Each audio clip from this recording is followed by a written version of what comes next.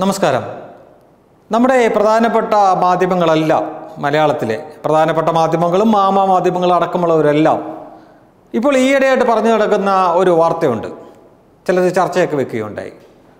പ്രധാനമന്ത്രി നരേന്ദ്രമോദി കോടികൾ മടക്കി ഒരു പുതിയ വസതി പണിയുന്നു. പ്രധാനമന്ത്രിയുടെ വസതി എന്ന തരത്തിലല്ല അവർ അവതരിപ്പിക്കുന്നത്. മോദിക്ക് പുതിയ വസതി പണിയുന്നു കോടികൾ മുടക്കുള്ള വസതി പണിയുന്നു. നമുക്കറിയാം സെൻട്രൽ വിസ്ത എന്ന പാർലമെന്റ് മന്ദിരം അതിന്റെ പണി പുരോഗമിച്ചുകൊണ്ടിരിക്കുകയാണ്.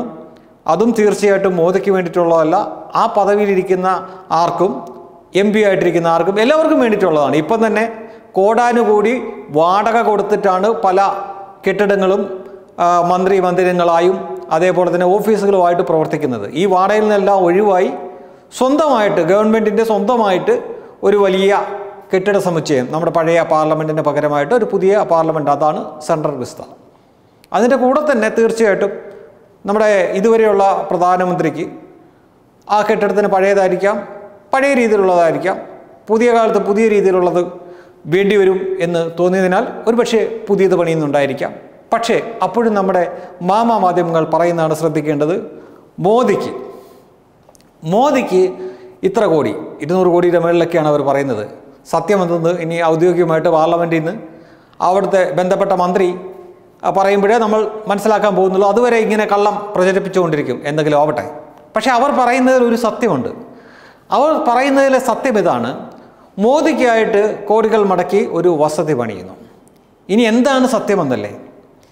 ഈ വസതി പൂർത്തിയാവുന്നത് രണ്ടായിരത്തി ഇരുപത്തി അഞ്ചിലാണ് രണ്ടായിരത്തി ഇരുപത്തഞ്ചിലാണ് ഈ വസതി പൂർത്തിയായിട്ട് അന്നത്തെ പ്രധാനമന്ത്രി അത് ഉപയോഗിക്കാൻ പോകുന്നത്. അന്നത്തെ പ്രധാനമന്ത്രി.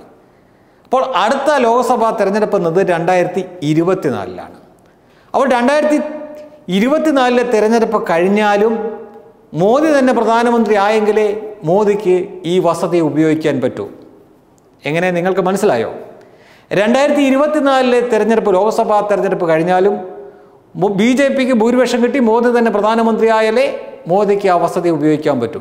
പക്ഷേ നമ്മുടെ ഇവിടെയുള്ള മനോരമയും ഏഷ്യാനെറ്റും മാതൃഭൂമിയും പിന്നെ മീഡിയ വൺ സഹിതം റിപ്പോർട്ടറും ട്വന്റി ഫോറും എല്ലാവരും ഒരേ സ്വരത്തിൽ പറയുന്നത് മോദിക്കായി.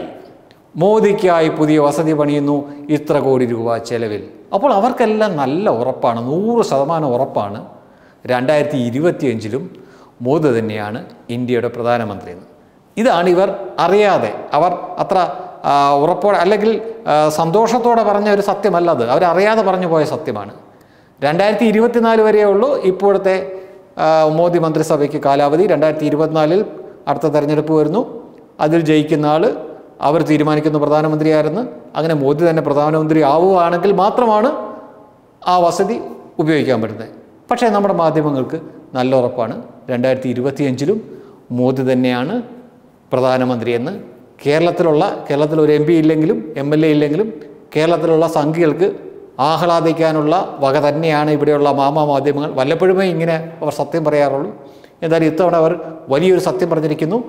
രണ്ടായിരത്തി ഇരുപത്തിനാല് കഴിഞ്ഞാലും മോദി തന്നെയായിരിക്കും ഇന്ത്യയുടെ പ്രധാനമന്ത്രി. വെബ് ഡെസ്ക് തത്വമൈ